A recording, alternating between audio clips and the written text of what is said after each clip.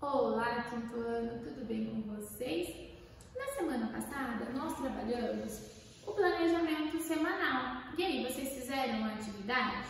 Porque nessa semana vocês têm um desafio. Qual será esse desafio?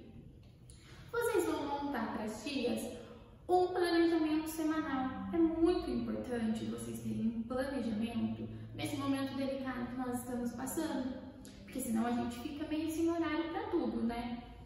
Eu quero que vocês coloquem nesse planejamento qual é o horário que vocês têm para as avaliações, para fazer as atividades, da escola, a família. Vocês vão deixar tudo registrado. E lá na página 30 e 31 tem as opções de como pode ser montado esse planejamento. Né? Uma folha vocês vão colocar lá de segunda a domingo e os horários, desde a hora que você acorda até a hora que você vai dormir, o que vocês vão fazendo nesse horário, certo?